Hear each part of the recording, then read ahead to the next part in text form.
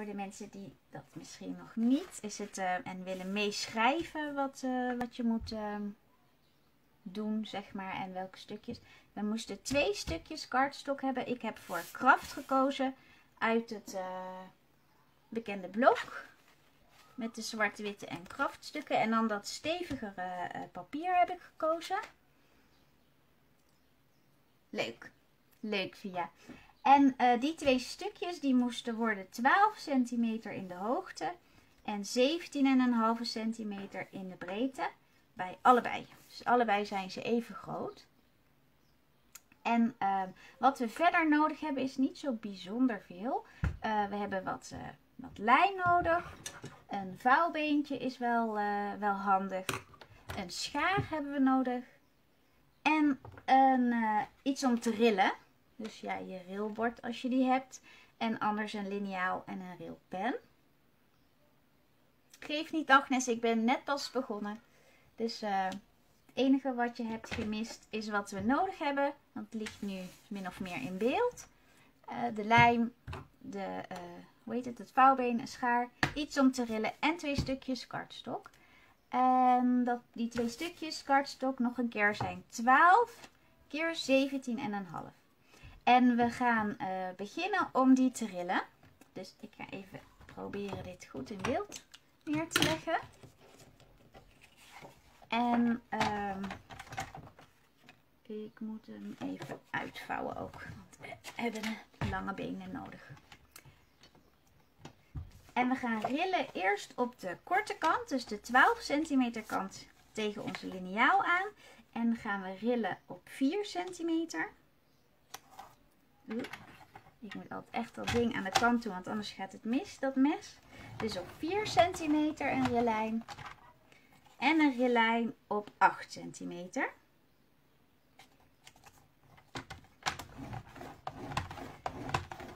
Dus dan hebben we in de lengte twee rillijnen. Eentje op 4 centimeter en eentje op 8 centimeter. Waardoor we uh, drie gelijke vakken hebben. Dan gaan we met de lange, uh, de, de 17,5 centimeter kant tegen de liniaal aanrillen. En daar rillen we ook op 4 centimeter. En we rillen ook op 8 centimeter. Maar ook nog op 12 centimeter. Dat is altijd het wat, wat minder goed zichtbare streepje, hè? net in, die, uh, in het scharnier. En dan nog op 16 centimeter.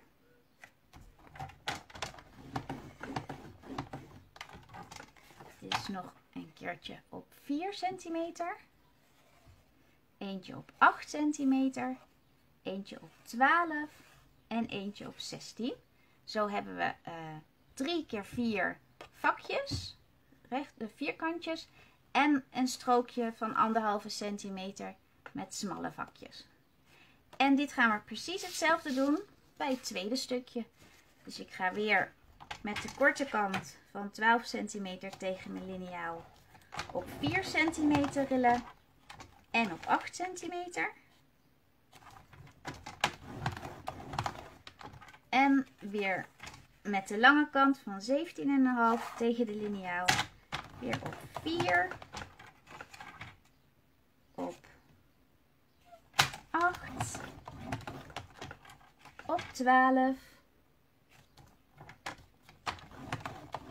en op 16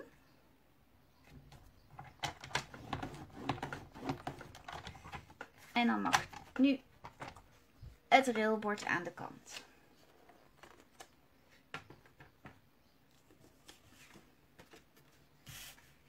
Um, ja, maakt niet zo uit. Zo. Even kijken. Uh, ben je ook bij, Chai? Is het gelukt? Ben je net zo ver als ik? Dus we hebben hier nu twee gelijke stukken met dezelfde rillijnen. En ik heb bij um, beide kanten de smalle strookjes van anderhalve centimeter aan mijn rechterkant liggen. We hebben nu een schaar nodig, want we moeten wat uh, weg gaan knippen. En dan ga ik even met een potlood proberen wat duidelijker te laten zien. Ehm, namelijk dit vak moet weg. Dit vak moet weg. En deze. En deze twee kleintjes. Alleen de onderste blijft. En dit vak moet weg. Deze. In het tweede gedeelte. Kan je dat zien? Oh, volgens mij sta ik stil. Sta ik bij jullie ook stil? Hmm.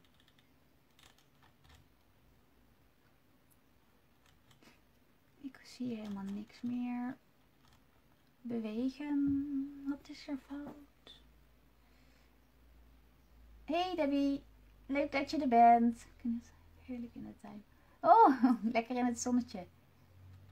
Ik kan uh, mijn beeld, mijn, ikzelf beweeg niet meer, maar jullie reacties kan ik wel zien. Maar ik kan dus nu niet zo goed zien. Kunnen jullie mij, gaat bij mij, bij jullie alles gewoon door? Kunnen jullie wel uh, zien wat ik heb gedaan met het potlood? Wat stom. Hoe krijg ik dit weer goed? Dit is niet zo fijn. Even kijken als ik nou... Ik zie een... Nou, hoe kan dat nou? Waarom zien jullie het wel? Toch handig als ik het zelf ook zie. Nou, ik zal maar gewoon op goed geluk. Als ik hier op mijn mat blijf, um, dan moet het goed komen, toch? Met potlood ook zichtbaar. Alleen het geluid wat zacht. Dan kan je die niet zelf wat harder zetten, Debbie, want daar kan ik niet zo heel veel uh, aan doen. Ik heb, ik heb niet zo'n hele harde stem ook. is in een restaurant altijd fijn. Dan moet ik altijd mijn bestelling drie keer doen, omdat ze me niet verstaan. Nou, als het niet, uh, niet goed gaat, ik ga gewoon door. Ik zie zelf niet op het scherm wat ik aan het doen ben, wel jullie reacties. Um, en ik probeer netjes eh, op mijn mat blijven. Dan denk ik dat ik wel in beeld ben. Als het uh, niet goed gaat, dan moeten jullie het laten weten. Oké, goed zo. Nou, ik ga, ga lekker verder. Even kijken. Um, dus die vakken die ik net uh, heb afgetekend van... Uh, die ga ik wegknippen. En ik doe dat altijd graag aan de achterkant. Omdat daar dat bolletje van de rillijn goed zichtbaar is. Moet natuurlijk wel steeds checken of ik op het goede weg zit. Maar dan kan je de rillijn mee wegknippen. Dat ziet er net wat fraaier uit. Dus dan kan je heel mooi langs dat bolletje, die bolling van de rillijn, kan je knippen. En dan moeten we hier de bocht om.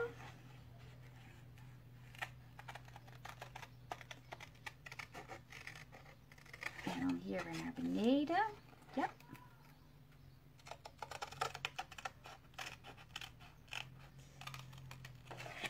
En dan hier die laatste.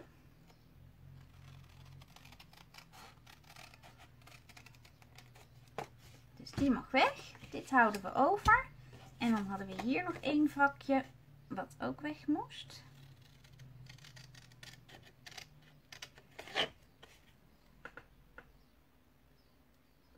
Oh, wat ik ga maken. Ja, ik heb er geen voorbeeld van, Debbie. Ik heb um, iets, een kaart is het. En het werd een uh, blokkenkaart genoemd. Uh, die ik nog nooit eerder had gemaakt. Dus ik had uh, ja, daardoor ook geen voorbeeld om aan jullie te laten zien. Dus het is voor mij ook de eerste keer hij was in, uh, in inches beschreven verschillende keren op Pinterest. En ik heb hem omgerekend naar centimeters om uh, voor ons Nederlanders iets moois van eh, te maken. Um, ja, dus een blokkenkaart gaat het worden. Deze anderhalve centimeter die we hier nog over hebben wordt een, ehm, help me eens, een lijmrand. En die knip ik altijd graag een klein beetje weg, de hoekjes. Zodat dat niet er tussenuit piept als je het aan elkaar hebt geplakt. En deze lange wordt ook een lijmrand. Dus daar knip ik ook hoekjes ietsjes in. Zo. Dus hier gaan we verder mee aan de slag. En dan hebben we nu... Um, ja, dan moeten we nog één ding doen. we, hebben namelijk, we moeten nog wat inknippen. En wat we gaan inknippen is deze relijn. En ik heb een spiekbriefje hoor. Deze relijn. En dan bij deze, deze relijn. Die grim ik straks allemaal weg, maar dat is omdat jullie het dan denk ik beter kunnen zien. Dus we moeten vier uh, rillijnen inknippen. En dat is in alle gevallen één blokje opzij. Dus hier gaan we inknippen. Hier gaan we inknippen. Bij die twee aan elkaar. Door de midden en hier. Zouden jullie me willen laten weten of dat goed zichtbaar is? Ik kan zelfs mijn... Even kijken als ververs. Ik kan niet uitstaan dat het niet werkt. Ik heb nou helemaal wit beeld. Ja, ik zie mezelf weer. Veel beter. Oh, en ik zie dus ook dat je die, uh, die uh, lijnen kunt zien. Hoi Mayra. Even meekijken wellicht weer van de week samen met de kinderen namaken. Oh, leuk. Ja. Gezellig. Altijd leuk als de kindjes het ook leuk vinden, hè? Dus ik ga dat even doen. Ik ga hier die rillijnen inknippen. Steeds één vak tot aan het kruispunt.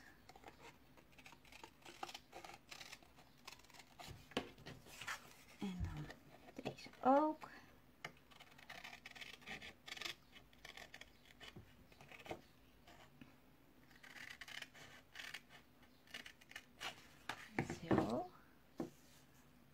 Annette, op, ehm, op mijn YouTube kanaal hebben we laatst een, uh, een koffertje gemaakt.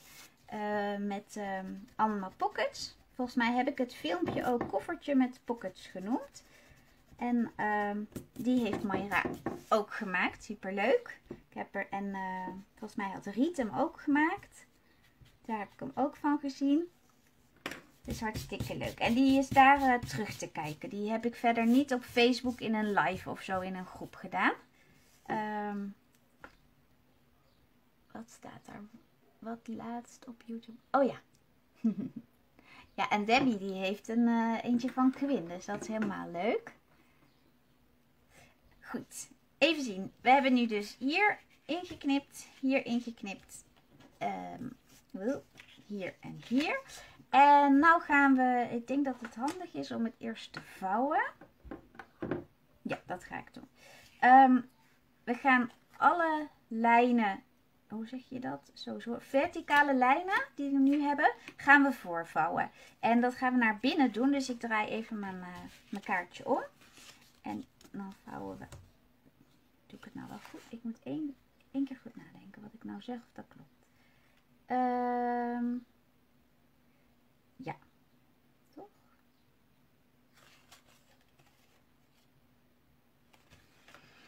Erg. Ja, dat is als je hem dan zelf nog nooit hebt gemaakt. Hè? Dan moet je even... Dit wordt de bodem, dus dat zijn de verticale... Ja, ja. Ik zit goed. Ik zit goed. Ja, zonnetje, hè? oh, je zit gewoon in Spanje, joh. Lekker. Had ik even gemist, omdat ik aan het twijfelen raakte. Heerlijk. Oh, en die van Mayra, die is nog niet gepost. Wel doen, hè. Dat is hartstikke leuk om te zien. Worden we allemaal blij van. En deze keer uh, wordt mijn zoontje er ook heel blij van. Want hij heeft hem toen als eerst gemaakt. En aan de hand daarvan heb ik, het, uh, heb ik die uh, tutorial gemaakt op YouTube. Dus dat vindt hij echt helemaal te gek. Als er dan naar zijn koffertje nog meer koffertjes zijn gekomen. Dus zeker, zeker laten zien. Zeker deze keer. Nou, alle verticale lijnen vouw ik voor.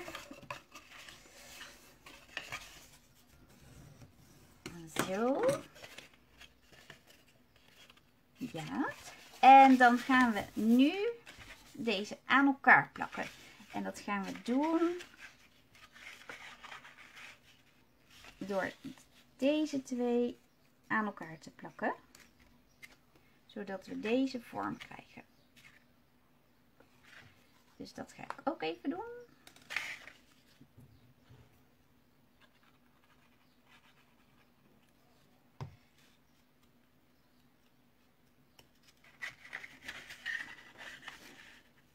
Dus mooi tegen de rillijn aan komt dit vakje tegen dit vakje aan. En dan natuurlijk proberen dat die lijn hier zo mooi in één lijn doorloopt, de, de onderlijn.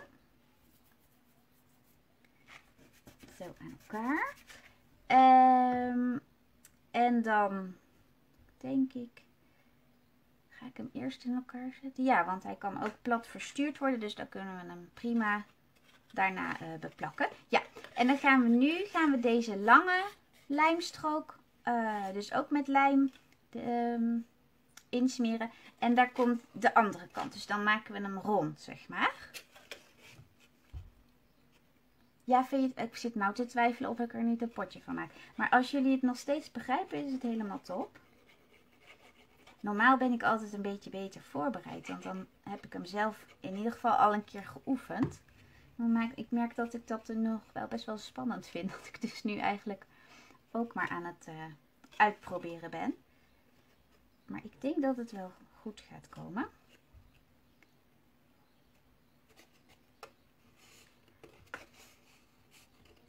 Dus die, die vakjes van 3 zitten nu ook vast aan de andere van 3. En wat nu de bedoeling is, is dat die, um, hoe moet ik dat zeggen? Dat eerste vak van 3, we hebben nu eigenlijk, ja, zo ga ik het vertellen. We hebben nu dus hier het op elkaar geplakt. En dan hebben we dus drie keer vakken van 3 aan elkaar. Even kijken, morgen mogen we beginnen met... Ja, ja, heb je er ook zo'n zin in, Debbie? Ik ook. En ik vind het heel knap van mezelf, want ik heb niet één plakbandje losgemaakt om te spieken. En ik ben echt een nieuwsgierig aagje. Mensen die mij eh, goed kennen, die uh, lachen zich nu helemaal dood. Maar ik heb dus echt gewoon geen één plakbandje losgemaakt van de pakjes. Ehm, maar goed, ik wilde dus even proberen uit te leggen um, dat de middelste van die drie wordt de bodem van de blokken. En ik had um, gevraagd of je van designpapier dus 15 stukjes, 15 vierkante stukjes wilde maken, uh, snijden. En één langwerpig stukje. Eentje was van 3,5 keer 11,5. En ik weet al wat de bestemming van mijn kaartje wordt. Want er is, daar hangen roze vlaggetjes hier twee deuren verder. Er is een babytje geboren. Dus dit wordt een, uh, een geboortekaartje voor een meisje. En um, dus ik heb roze hartjes gekozen. Mijn designpapiertje. Um, en die gaat hier onderop. En dat ga ik nu vast even doen om niet in de war te raken. Want dat is de bodem van onze blokken.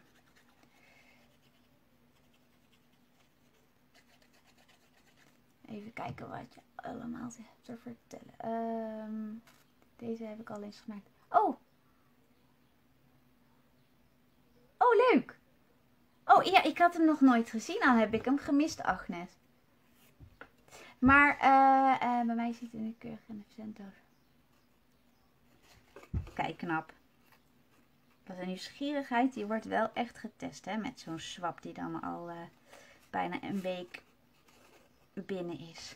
Maar ja, beter te vroeg dan te laat, denk ik altijd. En daarom heb ik dat een beetje ruim genomen. Maar ik hoop dat je het toch gezellig vindt om te kijken, Agnes. En dan, nou ja, misschien heb je, kun je hem nog een keer plaatsen. Want dan kunnen qua versiering misschien een beetje weer geïnspireerd raken door jouw uh, kaart, Agnes. Staat die ook op je YouTube? Heb je ook een YouTube kanaal, Agnes? Dat wist ik niet. Dan moet ik even lid worden dan ook.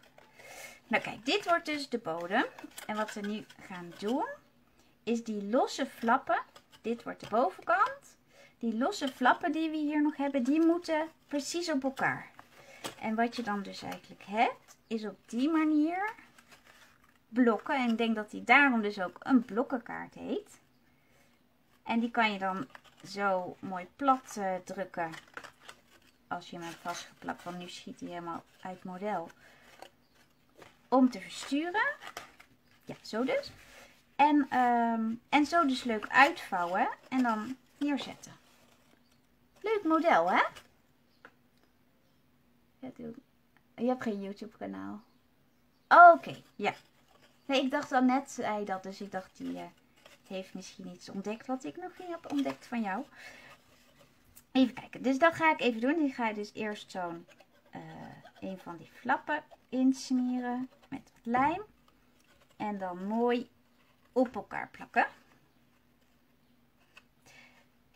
Ja, weet je, ik ben, ik ben natuurlijk nog niet zo super lang, ik denk anderhalf jaar nu, met het uh, scrappen in aanraking gekomen. Het uh, knutselen met papier. Ik wel natuurlijk een beetje, maar ik had geen idee van deze kaartenwereld en Happy Mail en al die dingetjes. En um, voor mij is heel veel dingen nieuw, wat voor sommigen die al jaren dit doen, alweer een oudje is waarschijnlijk. Dus er komen vast dingetjes uh, voorbij uh, die je dan al, die je al kent. Maar ja, sorry daarvoor. Maar misschien zitten er altijd weer dingetjes bij die je nog niet kent. Of waar, die je eigenlijk was vergeten. Dat je dan zo'n oh ja moment krijgt van... Oh ja, dat heb ik al heel lang geleden. Was ook leuk om te maken. Ga ik nog een keertje doen. En um, dan hoop ik dat ik je op die manier toch kan inspireren. Nou. En dan zijn dus al die 15 vierkantjes die we moesten snijden. Jullie raden het al. Bedoeld om hier op al die vakjes te plakken. Op deze aan de voorkant, op deze aan de bovenkant en hier aan de achterkant. Wat ik ook zag op Pinterest was dat er uh, sommigen één groter vak hadden gedaan. Als je bijvoorbeeld een leuke stempel hebt uh, die je kan kleuren. Die zijn vaak niet zo piepklein dat ze op één vakje passen. Um, dan zou je hier die ook in het groot op kunnen doen. En dan hier voor de rest allemaal kleintjes. Um, maar nu heb ik gekozen om er echt dat blokken effect van te maken. En uh, dus allemaal kleine vierkantjes. En um, ik heb ze al gemat. Ik had het, mijn witte uh, matje is zeg maar die van 3,5 keer 3,5. En de roze met de hartjes, die zijn dan 3 keer 3 Vond ik dan net weer even leuk.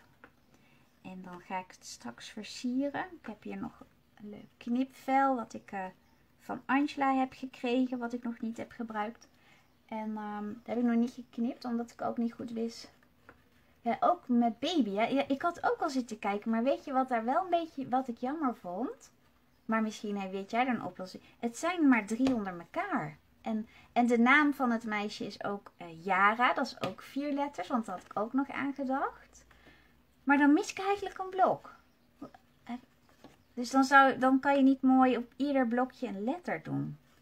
Ik, daar had ik een beetje een, uh, een probleempje.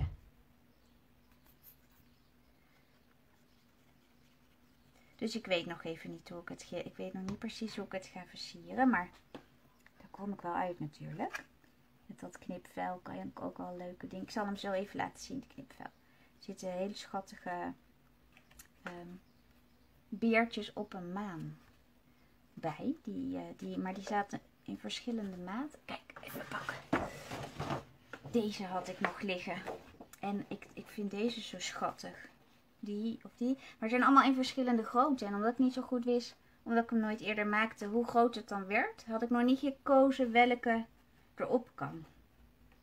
Die grote die past er prima op, hè. En die roze bloemen en zo. Dus ik denk dat ik hem daar straks nog uh, mee ga versieren.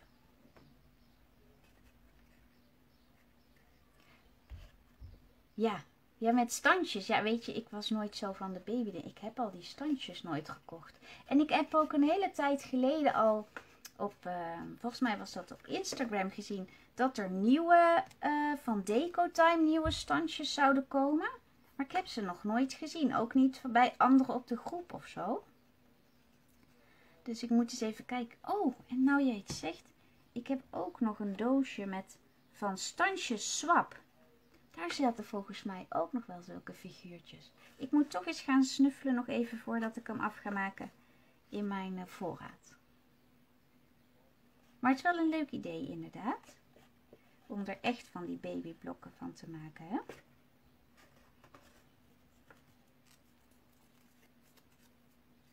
Je hebt ook niks van baby. Nee. Nou, meestal, als je, wat ik wel uh, heb, is diertjes. Diertjes kunnen volgens mij ook altijd. En letters. Ik kan hem uh, altijd met de naam er iets persoonlijks van maken. Dus heel specifiek baby hoeft ook niet per se natuurlijk.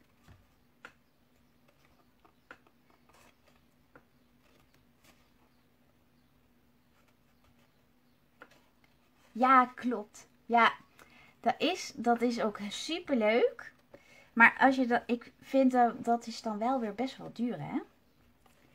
En dan, ehm, en dan denk ik, ja, voor af en toe een babykaart vind ik dat dan, ja, dan ben ik misschien een piepert. Maar dan, dat vind ik dan best wel veel geld eigenlijk. Wat ik wel, wat er bij die babylijn wel zat, daar heb ik nog even over nagedacht, was iets met eentjes. Ik denk die eentjes en dat vijf, was een vijvertje geloof ik, hè Debbie? Ehm, die kan je ook nog voor andere dingen gebruiken. Maar ik ben net om zo'n hele babylijn en dan van zo'n... Uh... Ja, ja, zeker als je het bijna nooit gebruikt, heb je er jaren plezier van. Nee. Ja, nee, ja, dat is voor ieder persoonlijk. Ik kan, ik, uh, ik kan dan dat, dan denk ik, nee, dan ga ik te weinig gebruiken en dan kan ik me daar mijn centjes niet aan uitgeven. Maar voor iedereen is het, uh, nee, is het anders. Ik vind het altijd wel leuk als, als je ook dingetjes wat vaker kan gebruiken. Of net als, soms zijn er van die stencils, denk ik super leuk. Maar uh, dat kan ik zelf wel knippen en snijden. Dan ga ik niet zo'n stencil kopen. Of dan ga ik niet zo'n stans kopen. Dan vind ik het eigenlijk een grotere uitdaging om dat dan uh, zelf goed voor elkaar te krijgen. Maar daar ben ik misschien een mafkees in hoor. Zo. En Chai, heb je hem al helemaal in elkaar? Ben jij al aan het versieren? Want ik zit hier lekker te kletsen. En, uh, ik heb volgens mij nog nooit zo langzaam vierkantjes geplakt. jij bent misschien inmiddels bijna klaar, of niet?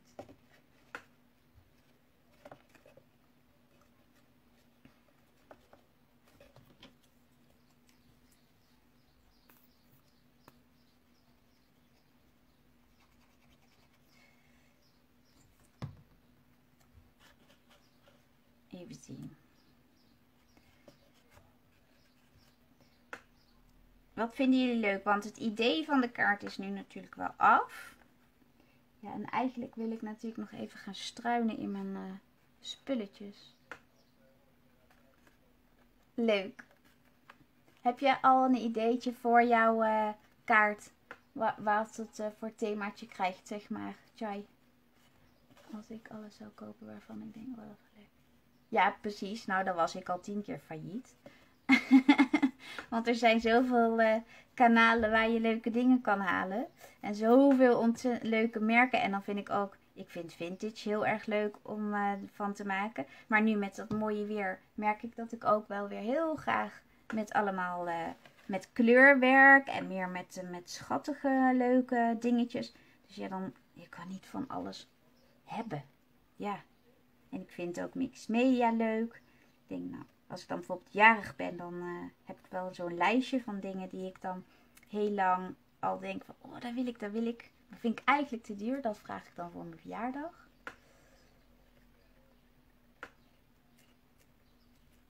Ja. Ja, dat is toch leuk ook van het low budget. Dat het allemaal, dat het ook mogelijk is. Dat het eigenlijk voor, uh, voor iedereen mogelijk is.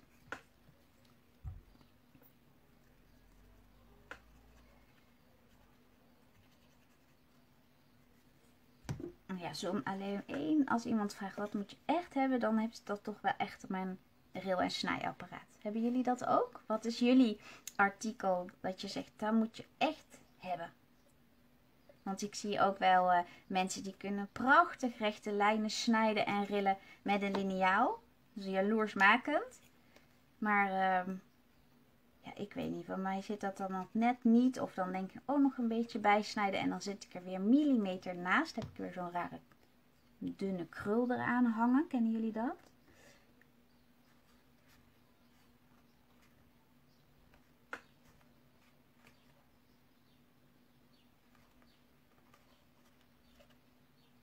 Hebben jullie een tool waarvan je zegt, die, dat, daar kan ik echt niet zonder, die moet ik heb. Daar is misschien een uh, goedkopere oplossing voor, maar goede lijn. Ja, dat is zeker waar. Dat alles weer loslaat nadien. Nou, daar worden we dan toch wel lichtelijk verdrietig van. Kroppen, ja. Dat, die klopt Annette. Die heb ik inderdaad ook. En daar ben ik ook heel blij mee. Alleen dan had ik, daar heb, ik heb die, eh, die waar zo mee moet, in moet knijpen. Zo'n soort tangmodel. En dan heb ik toch ook wel weer eens af en toe dat ik denk, oh jammer dat hij niet wat dieper in mijn papier kan.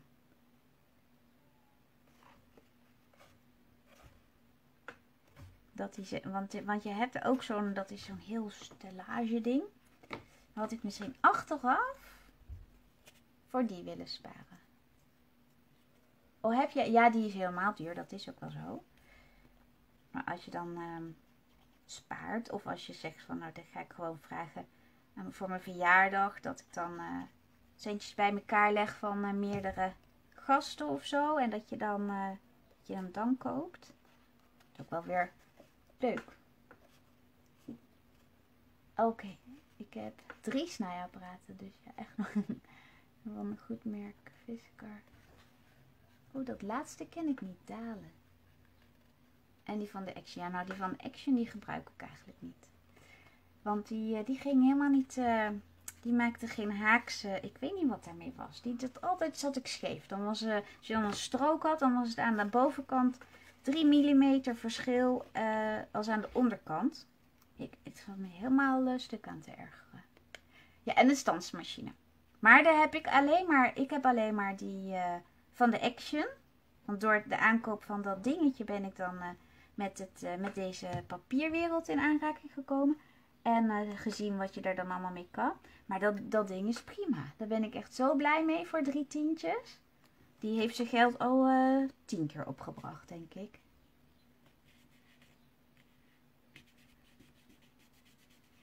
Het is een oude. En, want, en is dat dan ook, is dat zo'n snijmachine met zo'n hendel? Zo'n, uh, dat is zo'n martelapparaat. Die ben ik voor de. Ja, dat is hartstikke... Het is ook een leuk cadeau. Even kijken hoor. Een elektrische. Ja, dat is helemaal luxe, hè? Nee, ik loop nog gewoon zo te, te kraken. Ja, weet je, hij doet het nog steeds. Dus ik ben daardoor helemaal niet geneigd om verder te kijken. En alles wat ik ermee wil, is ermee mogelijk. Dus dan inderdaad een keer stuk gaat, dan ga ik eens rond neuzen. Maar voor nu ben ik er zo blij mee. En hij doet het zo goed. Oh, dit is wel met een rolmesje, ja.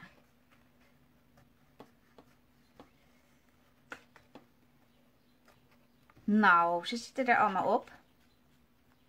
Ik, uh, ja, ik kan eigenlijk niet verder, want ik weet nog niet zo heel goed wat ik nou wil. Of ik nou uh, nog even ga zoeken naar die standjes om dat ideetje van Debbie verder uh, door te voeren. Of toch bij mijn plannetje met mijn, uh, met mijn knipvel dat ik heb liggen.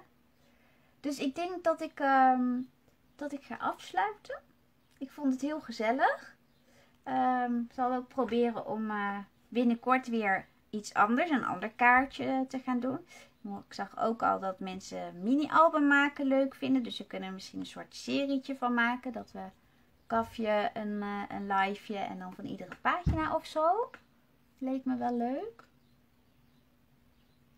Een hakmes. Ja, dat is het wat ik bedoelde. Zo'n zo'n ding, ja. Voor de postzegels. Verder. Oh, avondvierdaag. Ja, dat is natuurlijk ook, hè. Dat klopt. Leuk. Dat je daar uh, een soort medailleachtige kaarten of zo gaat maken. Super grappig. Nou, leuk dat jullie er allemaal waren.